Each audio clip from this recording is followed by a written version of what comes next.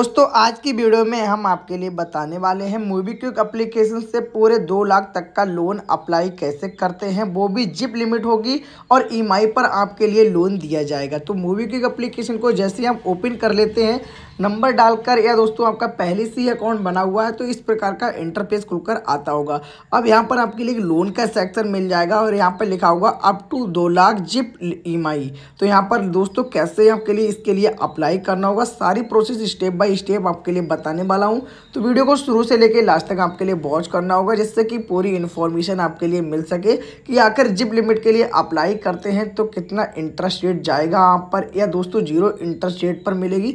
सारी जानकारी आपके लिए स्टेप बाय स्टेप बताने वाला हूँ। तो वीडियो को दोस्तों लास्ट तक ज़रूर देखें। तो यहाँ पर अप्लीकेशन को ओपन कर लेना है और लोन वाले सेक्शन में आ जाना है, जहाँ पर लिख कर आ रहा है अप टू दो लाख। तो इस पर मैं क्लिक कर देता हूँ। क्लिक करने के बाद आपके सामने इस प्रकार का इंटरफेस खुलकर आ जाएगा।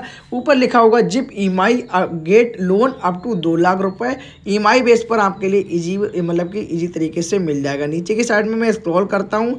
स्टैंड की स्टैंड आपके बैंक अकाउंट में जो पैसा है वो ट्रांसफ़र कर सकते हैं। जो जिप लिमिट है उसको ट्रांसफ़र कर सकते हैं और ज़ीरो इंटरेस्ट रेट पर आपके लिए जो लिमिट है वो दी जाएगी और अगर आप पैसे को विड्रा करते हैं तो आपसे किसी भी तरह का ज़ीरो चार्ज लिया जाएगा, किसी भी तरह का चार्ज नहीं लिया जाएगा। तो इसको अप्लाई करने के लिए, आपके लिए अपनी इजिबिलिटी को चेक करने के लिए क्या करना होगा, सिंपली से यहाँ पर आपके लिए टिक के ऑप्शन पे क्लिक कर देना है। और गेट स्टार्ट के ऑप्शन पे क्लिक करना होगा। जैसे मैं गेट स्टार्ट के ऑप्शन पे क्लिक करता हूँ, यहाँ पर आप सेल्फी एक मांगी जाएगी, अपनी एक सेल्फी को अपलोड करना होगा। दोस्तों आइडेंटिटी वेरिफिकेशन के लिए एक सेल्फी मांगी जाती है। आपकी सेल्फी क्लियर होनी चाहिए, तभी आपकी यहाँ पर अपलोड हो पाएगी। तो चलिए यहाँ पर एक सेल्फी को अपलोड कर लेता हूँ। जैसे ही आपकी सेल्फी अपलोड हो जाती है यूज़ दिस के ऑप्शन पे क्लिक कर देना। है जैसे हम इस पर क्लिक करेंगे, यहाँ पर कुछ देर की टाइमिंग चलेगी और यहाँ पर आपकी डिटेल्स मांगी जाएगी। जैसे कि हम सैलड हैं या सेल्फ एम्प्लॉय हैं, आपका फादर का नेम क्या है, आपकी ईमेल आईडी क्या है, आपकी मंथली इनकम कितनी है, सभी डिटेल्स आपके लिए भरनी होगी। जैसे कि यहाँ पर अब यहाँ पर मैंने अपनी सभी जानकारी भर ली है, उसके बाद सबमिट के ऑप्शन पे क्लिक कर देता हूँ।